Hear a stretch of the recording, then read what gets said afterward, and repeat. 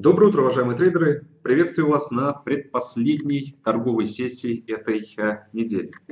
Э, собственно, как и всегда, мы следим за э, тем, что происходит на финансовых рынках, эм, анализируем то, что эм, мы видим по статистике, то, как это влияет на основные тенденции рынка Форекс и не только. Ну и, разумеется, в соответствии с этим фундаментом мы стараемся адаптировать, подстраивать и наши долгосрочные торговые рекомендации. Пока что, глядя на весь спектр финансовых инструментов, можем четко сказать, что на руку нам только динамика нефти. Потому что черное золото, какой бы актив вы бы не взяли за основу торгов WTI либо Brent, в целом находится в нисходящем ключе. И у нас есть прекрасное фундаментальное объяснение, почему, э, собственно, эта динамика будет сохраняться и э, дальше.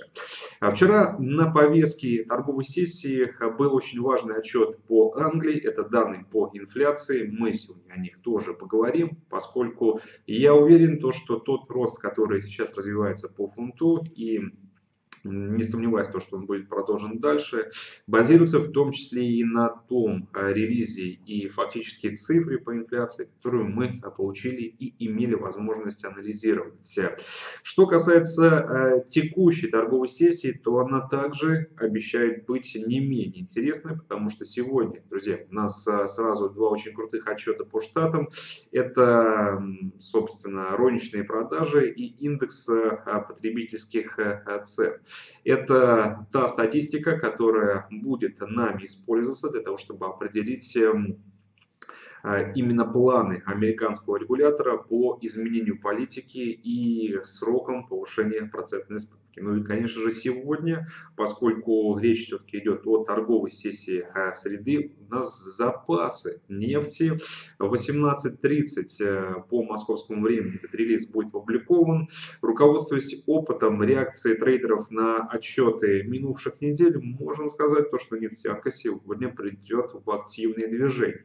И если э, статистика, которую мы ожидаем, снова позволит нам говорить о приросте запасов нефти и собственно, увеличения объема добычи, а, мы реально будем претендовать на то, чтобы пробраться по котировкам того же самого бренда в рамках компании Market Ticket этого инструмента UCoil. Э, этот инструмент претендовал на 60 долларов за баррель. Ну, собственно, давайте плавно перейдем к тому, что происходит на рынке черного золота. Лу э, вчерашнего дня 61.76. Сейчас э, сложилось так исторически, мы на брифингах говорим о более высоких о котировках, но это опять же связано с присутствием для данного э, периода и времени суток а трейдеров, которые, возможно, не сильно активничают по нефтянке. Основные тренды начинают разворачиваться на европейских торгах и на американских. Азиаты не очень активны на этом рынке. Соответственно, сейчас 62.82, ну, может быть, за последние минуты немного ситуация ценовая изменилась. Но все равно, все равно я думаю, что мы можем говорить о том, что динамика нисходящая сохраняется. А, вчера очень детально мы проанализировали новостной фон, который сложился, и пришли к выводу о том, что рынок по-прежнему резонирует и опирается в плане вот этих распродаж на а, колоссальный прирост нефтедобычи в США. Это как следствие последнего отчета от администрации аналитической информации. А внутри дня у нас был еще и локальный триггер. Это уже прогноз, э, доклад управления аналитической информации, в соответствии с которым на семи основных э, шельфовых месторождениях, можно сказать, это в рамках бассейна Пермин. Ожидается прирост ну, уже в марте там, на 110 тысяч баррелей до 6,75 это еще один признак того, что американские сланцевые производители остаются на коне по максимуму, используя те возможности, которые есть по увеличению выработки. Я думаю, что э, ну, данный тренд не изменится. Все это усилила еще распродажи, вызванные публикацией отчета Baker Hughes по количеству нефтяных терминалов, серьезный рост. Если в целом оценивать общее текущее количество терминалов на платформе, максимум вы помните, с 2015 года, а рост, собственно, оказался и стал максимальным с января 2017 года. Соответственно, все эти отчеты позволили сделать вывод о том, что Соединенные Штаты Америки продолжат создавать серьезную угрозу для балансировки рынка черного золота, и Соединенные Штаты Америки уже в перспективе ближайших месяцев смогут при сохранении текущих объемов добычи э, не то чтобы закрепить результат, а смогут э, претендовать на Э, выход э, по э, совокупному производству на 11-миллионную планку баррелей в сутки, а это тот самый рубеж, который позволит им опередить Россию и стать основным производителем черного золота, углеводородов, нефти в мире. Мы видим то, что регулярно пересматриваются доклады, прогнозы, собственно, ведомств различных, но в данном случае администрация энергетической информации, но фактические цифры по производству, они идут э, несколько более высокими темпами и опережают эти самые прогнозы. Если замкнуться на вчерашней торговой сессии, динамика была разнонаправленной в целом. Э, большую часть дня мы котировались на отрицательной территории, потому что трейдеры э, получили возможность продавать нефтянку, поскольку на рынок пришли сообщения о том, что страны вне ОПЕК увеличивают объемы добычи, потому что реально начинают уже паниковать из-за текущей ситуации, когда им приходится действовать в рамках соглашения снижать добычу, а Штаты при этом в геометрической прогрессии наращивают объемы а, производства. И доказательством того, что э, действительно вот эти страхи уже э, фактически приводят к конкретным действиям, является процент исполнения договоренностей. Если в конце прошлого года мы говорили и видели оценку, то, что страны соблюдают даже больше, чем на 100% обязательства по энергетическому пакту, то вот последние цифры гласят уже о том, что страны вне ОПЕК а сейчас уже гораздо менее чистоплотные в данных обязательствах. И процент исполнения договоренности находится уже на уровне 85%. Я думаю, друзья, будет еще а, ниже. В конце концов, мы можем выйти, опять же, на такое прямое заявление стран ОПЕК и в целом идеологов вот этого энергетического пакта, что пришло время на, скажем, неопределенные сроки все-таки приостановить вот эти порывы высокопарные, направленные на сокращение добычи для поддержания цен на нефть. Ну, конечно же, они не смогут сказать, что э, это решение принимается из-за того, что они боятся, что Штаты и дальше э, продолжат красть их долю.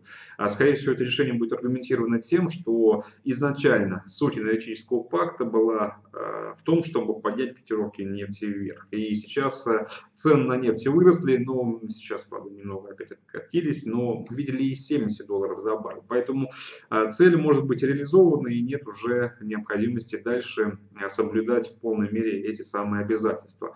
Это что касается реакции трейдеров а, большую часть торговой сессии вчерашней. Но все-таки, друзья, под конец дня на рынке появился и скажем, позитивный новостной фон, поспособствовало улучшению настроения, котировки, вернулись практически к тем ценам, с которых мы стартовали торговую сессию. Это тоже а, стало эм, причиной, точнее реакцией трейдеров на а, прогноз отчета другого ведомства, которое также оценивает ситуацию на рынке черного золота. Это Международного энергетического агентства, которые пересмотрели прогноз спроса на нефть, ну, разумеется, в сторону повышения, и их прогноз опирался на крайне оптимистичную оценку Международного валютного пенсионного фонда, который видит э, массу возможностей, аргументов, э, по которым мировая экономика будет э, расширяться и расти в этом году. И, соответственно, рост мировой экономики потребует и будет должен соответствовать большим аппетитам на потребление сырья немного это настроение улучшило, друзья. Ну, я думаю, что если э, взвешивать уже, скажем так, такие образные весы, э, где у нас есть аргументы против э, роста цен на нефть и аргументы в пользу поддержек котировок, мы придем к абсолютно оправданному и, на мой взгляд, очевидному выводу, что сейчас Э, признаков и сигналов того, что нефтянка не корректируется, а развивает новый тренд, который направлен вниз, все больше и больше. И отдельное спасибо, огромный низкий поклон э, со стороны продавцов, друзья, конечно же, нефти Соединенных Штатов Америки, которые действительно вышли на уровни, э, которые прогнозировались, в том числе и нами, но гораздо быстрее, чем мы думали. 10-25 миллионов, друзья, сейчас происходит производства нефти США, они уже обогнали Саудовскую Аравию и вплотную приблизились к России. Я думаю, что при таких темпах конечно же, им удастся занять э, место номер один по объемам а, добычи. А, соответственно, напоминаю, что сегодня у нас в 18.30 уже новый обновленный отчет от администрации аналитической информации. Мы ждем цифры того, насколько увеличилось производство нефти на неделе минувшей. Я не сомневаюсь, то, что рост тоже был довольно неплохим. Даже прироста в 40-50 тысяч будет более чем достаточно, чтобы снова э, надавить на котировки нефти. Поэтому ждем поддержки для нашей короткой позиции и ни в коем случае не сворачиваем с пути продаж э, всего рынка черного золота. Рубль практически 58. Я думаю, что при возобновлении коррекционной динамики российская валюта также быстро окажется выше этой планки.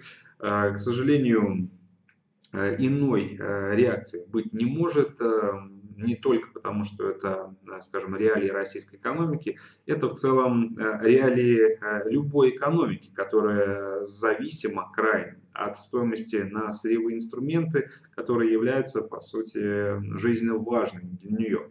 А таких экономик много, в основном это развивающиеся рынки, но Россия, как вы знаете, завязана на котировках черного золота, которые напрямую влияют на а, всю микро- и макрополитику, которая проводится в рамках страны.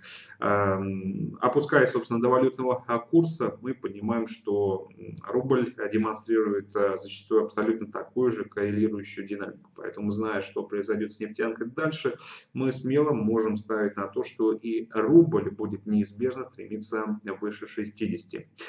Э, дальше я хочу, друзья, обратить ваше внимание все-таки на американский фондовый рынок, потому что это сейчас э, важно. Вот э, та оценка и анализ, который я провожу, обращая внимание на поведение всего спектра финансовых инструментов и сейчас особенно возросший интерес к защите, позволяет сделать, на мой э, взгляд, правильный вывод, который заключается в том, что э, американский фондовый рынок эм, как был в центре внимания на прошлой неделе, по причине тех колоссальных распродаж, так и остается э, настолько интересным и сейчас, даже тогда, когда мы вроде бы как уже не говорим о таких серьезных э, потерях.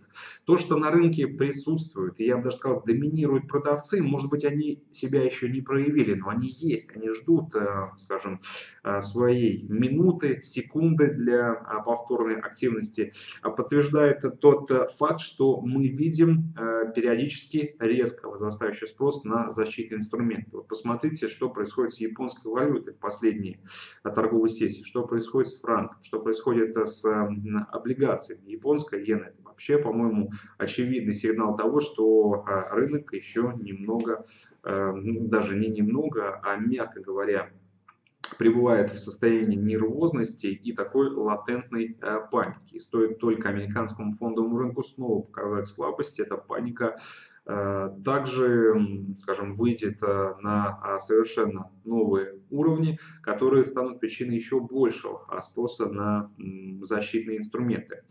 Э, про причины распродаж фондового рынка мы с вами говорили. Это и скажем, позиция трейдеров, которая связана с тем, что рост заработных плат до максимума с 2009 года это уже отчет, по сути, двухнедельной давности, может э, негативным образом сказаться на фондовом рынке, поскольку приведет к сокращению прибыли корпоративного сектора. Вторая причина – это перспективы более э, быстрых темпов ужесточения монетарной политики. И вот вчера я коснулся третьего аргумента, который, на мой взгляд, является состоятельным. И он же сейчас, возможно, является серьезным риском. Это то, что обвал американского фондового рынка происходил параллельно с таким таким же серьезным ростом доходности американских облигаций. А, вы помните, что здесь логика тоже довольно простая. Если растут доходности трежа, снижается аппетит, интерес к клиентам бумагам, за которыми стоят компании с высокой долговой нагрузкой, долговым бременем. А, таких компаний очень много. Кто-то говорит, что 40%, кто-то говорит, что 50%, а кто-то считает, что большинство. Я думаю, что все-таки правы те, кто а, опять же, придерживается позиции, что таких более 50. Соответственно, друзья, что мы сейчас э, можем взять за основу торговли американским фондовым рынком? Мы можем ориентироваться на то, что э, все-таки доходности действительно влияют на эти локальные тренды доходности американских облигаций, поскольку трежери, скорее всего, будут расти, поскольку рост на текущем этапе отражает э, очевидные признаки ускорения инфляции и более крутой траектории повышения процентной ставки. А, ни первое, ни второе не меняется. Инфляция действительно продолжит расти. Вот последний комментарий Лоретты Мейстер, которая выступала э, вчера, тоже позволяет сделать вывод о том, что все-таки большая часть представителей ФРС э, склонны полагать, что макроэкономическая картина улучшится. А, трейдер допускает 2-3 повышения процентной ставки. Консенсус прогноз голосующих членов ФРС около трех повышений э, процентной ставки, ну, точнее, э, даже три. Соответственно, если этот сценарий будет реализован, доходность американских облигаций перевалит за 3% и окажет еще большее давление на фондовый рынок. Но это может быть несколько растянутая перспектива, опять же, попытка фундаментально объяснить те риски, которые есть для американского фондового рынка. Но что может с ним произойти в ближайшее время? Вижу много комментариев от скажем, аналитиков, экспертов, которые э, стоят за очень крупными фондами. Э, безусловно, текущая ситуация с фондовым рынком их тоже беспокоит, но они сейчас э, все единогласно, я думаю, что к их мнению стоит прислушаться, призывают воздержаться от длинных позиций, потому что американский фондовый рынок еще не вышел из фазы коррекции. И то, что сейчас э, идет восстановление, то это, скорее всего, очередное затишье перед булей, и американскому фондовому рынку не стоит ничего просесть еще а, сильнее. Вот, кстати, обозначают даже э, конкретные даже сроки. Это возможно, даже до, первой, до конца первой декады марта мы э, можем столкнуться с еще одной волной э, распродаж. И, соответственно, при снижении американского фондового рынка мы будем ловить S&P на отметке 2500 пунктов. Я считаю, что для многих из вас также этот уровень является достаточным. Я считаю, что по мере касания данного рубежа можно будет э, уже выйти из э, американской фондовой секции, посмотреть э, со стороны за тем, как будут обстоять дела дальше. Поскольку мы с вами допускаем, что американский фондовый рынок снова может стать причиной нервозности на рынок, точнее те распродажи, Конечно же, сейчас э, нам нужно быть более терпимыми к тому, что происходит с парой доллара японской иены, потому что рост спроса на иену, он как раз и отражает э, тот э, факт, что на рынке многие готовятся к этим самым распродажам. В свою очередь, друзья, хочу отметить, что позитивный фон для доллара не то чтобы в контексте и противовес японской валюты, в целом для доллара, для индекса американской валюты, он продолжает улучшаться. Это мы видим по позиции представителей ФРС, это мы видим по статистике. Сегодня, э, напоминаю, розничные продажи и индекс потребительских цен полагают то, что эти данные нас не разочаруют, и мы еще больше поверим то, что ставки уже в марте будут э, повышены. Европейская валюта, ну, здесь по причине, опять же, повышенного спроса на защитные инструменты, мы традиционно видим, как растет европейская валюта. Евро сейчас торгуется на отметке 1.2382, а, соответственно, претендует на то, чтобы забраться даже еще выше. Я допускаю то, что локально рост евро может сохраниться до тех пор, пока доллар не перехватит инициативу. А когда произойдет это, зависит от того, когда трейдеры, э, скажем, будут менее уже восприимчивы к э, настроениям и с меньшей охотой уже будут переводить э, свои капиталы э, в защиту. А фунт против доллара. Вчерашний отчет по инфляции в соответствии с ожиданиями указал на то, что индекс потребительских цен остается крайне высоко, гораздо выше целевого значения в 2%, фактическая цифра в годовом выражении инфляция 3%, прогноз был 2,9%. И первый главный вывод, который мы делаем, то что высокая инфляция будет и дальше выступать якорем для активности потребителей и создавать риски для экономического спада, поэтому Банк Англии обязан проводить более агрессивную политику, повышать процентные ставки, как фактически и обещал нам а, в прошлый четверг. Э, на текущий момент, после вчерашнего отчета по инфляции, вероятность повышения процентной ставки в мае уже фактически составляет 65%. Уверен, то, что дальше она будет только расти. Это должно приводить к соответствующему росту британца, который эм, далеко еще не дисконтировал собственный курс перспективы изменения монетарных политик, но должен на этом фоне, соответственно, подрасти. Вот как раз на дальнейший рост фунта мы с вами и продолжаем рассчитывать, потому что у нас ориентиры по этой валютной паре находятся гораздо выше отметки 1.40. Давайте вместе туда фунт и подтаскивать. По важным э, событиям отчета, в принципе, поговорили в начале брифинга. Я предлагаю на этом, друзья, заканчивать. Соответственно, если есть вопросы, вы можете их э, всегда задавать на на форуме AMarkets и на канале на YouTube. Большое спасибо всем, кто оставляет комментарии, кто проявляет такую социальную активность. И отдельное, огромное спасибо тем, кто ставит лайки. Увидимся завтра в 9.30 по московскому времени. Соответственно, хорошего вам торговой сессии. До свидания.